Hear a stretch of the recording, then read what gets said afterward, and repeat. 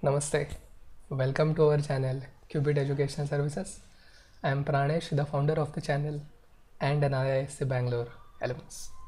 In this video, I am going to answer all the questions, all the frequently sent questions to me by the students, including you. These questions are related to, or are going to be related to, the actual IISER aptitude test 2023. Before I go to that, if you are new to our channel, let me tell you that Qubit Educational Services is the only channel currently on YouTube which is offering detailed solutions to all previous year's questions of the IISER aptitude test right from its first edition 2017 and also PYQs to National Entrance Screening Test or NEST conducted by NISER. You can visit our YouTube channel and click on the subscribe button to get instant updates. In addition to the previous year's questions, we're also offering five free mock tests which can be accessed from any device including your laptop, mobiles, iPhones, desktops, everything. Okay. So to sign up for for these five mock tests, you have to go to our website www.qubitpune.com and then you have to select test series. Will be redirected to the sign up page. You need to fill in your true details and then you will be sent a link to your email ID. Once you complete any of these five tests or each one of them, you will get to see the detailed solutions to that particular test, which will be accessible till the, the actual IISER aptitude test 2023. Let's now go to our first frequently asked questions. What is the minimum marks I should score to get into IISER? Well, to answer this question, I'll say there is no minimum marks or maximum marks which anyone can predict. Here is why I'm saying that. All of you know that the exam is going to be of 240 marks, right? The exam is going to be of 240 marks. Now, suppose you scored 190 out of 240. Okay, suppose you scored 190 out of 240. Now, I will present to you two extreme scenarios. Look here. Scenario number one all others all other students. They scored less than 190 which means even if you feel that 190 is not a decent enough score to get into the top IISERs or IISc because others have scored less than you you will get the seat of your choice. But as opposed to that if other students score greater than your score you might be thinking okay 190 out of 240 is a very good score. I will get into any of the IISERs or IISc that I want. But because others have scored more than you although you answered very well according to your strengths because others did better than you unfortunately in that case you will not get any seat. Now these are the two extreme situations that I have discussed where all of this other students scored more than you all of the other students less than you. But the conclusion is it's not the number of marks or the minimum marks that matters but what matters is, the, is your rank. Rank is going to matter. Rank matters the most. Because see the number of seats is fixed correct? The number of seats is fixed. So irrespective of how many marks you get it's the it's your rank that's going to decide your future whether you will get a seat or not correct? So please don't waste your precious time in this last week on thinking about the marks okay? The rank is going to matter. Do your best right? A related frequently asked question. Is percentile and rank the same okay? You can see rank is the only thing that matters the most. Percentile is a bit i would say an alternative way of expressing your rank. Here's an example.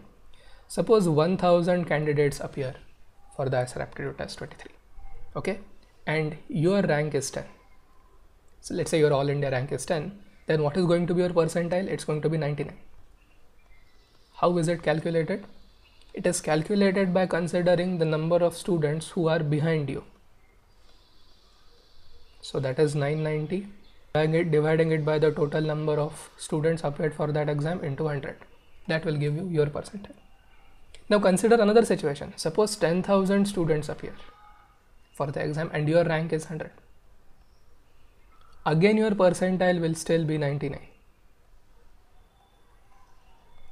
okay again your percentile will be 99 because in that case if you subtract 100 from 10000 right it will be 9900 and if you divide this by 10000 and multiply this by 100 you will again you are again going to get the same number that is 99 got it?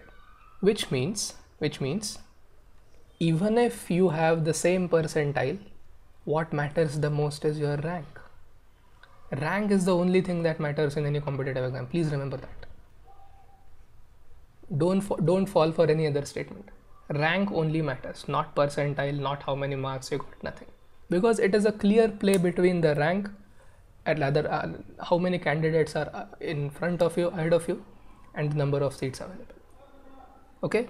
Let's say for example if the IISERs had only 50 seats okay if your rank is 10 you'll get a chance. But if your rank is 100 then you'll not get any seat because there are not enough seats there. You might be happy saying my percentile is 99 but if there are not enough seats available then what are you going to do with that? Okay so it's only the rank that matters not percentile not marks okay? All right. Now the next question is well it's a very valid question. If none of the options is correct then what should i do? There have been instances in previous versions of the IISER aptitude test where the question did not have any correct option. In my opinion the safest way to handle this situation is select the one that select the one. Select the option that is closest to the actual one. Now again this is this closest thing. This works only with those mcqs which are numericals which have a number as their answer. Okay? In theoretical mcqs let's say from biology or chemistry it's very hard to select the closest. In that case you can uh, mark that option which you find is the most suitable one. Okay? See there are only two possibilities. Either you are going to leave that question or you are going to mark an option which you find is the best right? Now if you don't mark anything it might be considered as you did not make any attempt to solve the question. So even if the mcq was wrong or the options did not match because you did not mark any option it will be considered or it might be considered that you didn't tackle that question at all. So in a case where this uh, this uh, thing arises should should extra marks be given or marks to all be given the safest option to do is select the one that you find the closest or you find the best okay? And you should be clear about this before you go or and enter the exam hall because at that time while writing the test you'll not have enough time to think about this. So again well th th that sequence of thoughts will start and that will take you take your unnecessary time. Okay so be, be clear about it. Fix the strategy and implement it in the exam. Next mcq sorry next next frequently asked question is will on-screen calculator be available? Answer is yes. Now why am i saying this? If you go to the official mock test which is available on their website okay iiseradmission.in there you will find an on-screen calculator. There is a calculator icon if you click on it then non-screen calculator will open. See, for biology and to some extent in chemistry, the calculator has absolutely, absolutely no role to play. But you can make clever use of calculator in mathematics and physics. But first of all, you should get familiar to the syntax. You should get familiar to the various functionalities that the calculator can offer and many other things. So I've, made a separate video on the tips to use virtual calculator. I'll put the link in the video description please watch it. That will be of very great help to you. It has been of very great help in the past uh, for the past papers. So it will definitely be of some use to you as well. Okay? Next. Are all sections mandatory? Now the, these uh, this question is asked by those students who are either pcm students or pcb students. Okay? The one word answer to this question is no even if you leave biology you will be well you will be graded even if you leave mathematics or pcb students will be graded but the thing is if you think that if i leave biology then i will be graded out of 180 then you are wrong you will still be graded out of 240 just similarly for a PCB student, if you say I'm a PCB student, why should I attempt mathematics? That's okay with boards. But in IISER aptitude test, if you leave mathematics, you are effectively leaving 25% of the paper. So you will not be graded out of 180, you will be graded out of 240. Okay. So if you have not covered anything of uh, maths being a PCB student, I will recommend you to watch my video where I talk about easy topics from mathematics which you can do and uh, get at least 4 to 5 MCQs from mathematics section. Okay, so are all sections mandatory? No, you can just leave the whole paper blank and come out of the exam all with 0 out of 240. Okay, but of course you would not do that. But the reason why I included this question in this video is if you think that if I not attempt any question for from a particular subject, let's say biology, then I will be disqualified. No, that's not the case. Even if you leave all 15 biology questions unanswered, you will still be graded, but you will be graded out of 240, not out of 180. Okay. Last MCQ of uh, last FAQ. Well, I keep on saying MCQ, sorry. Do MCQs get repeated in IISER aptitude test? Well, no, no MCQ ever gets repeated. But the thing is, patterns do get repeated okay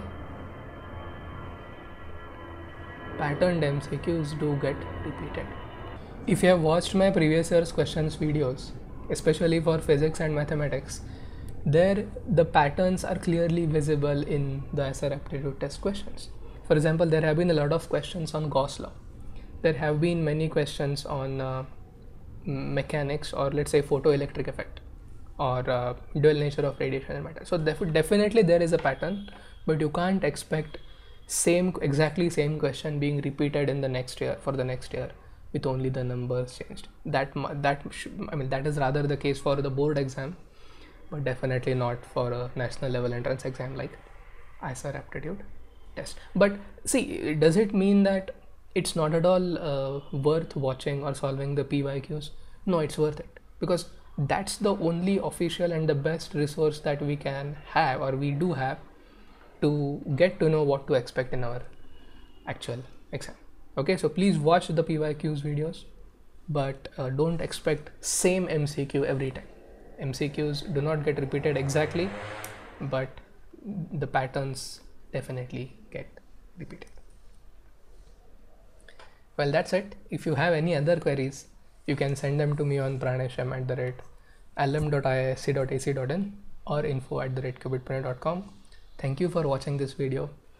One more thing, I have also uploaded videos on most likely topics which you should be doing for IISER Aptitude Test 2023 from mathematics and from physics. I'll put those videos to those links also in the description. Thank you for watching again and all the best for your exam.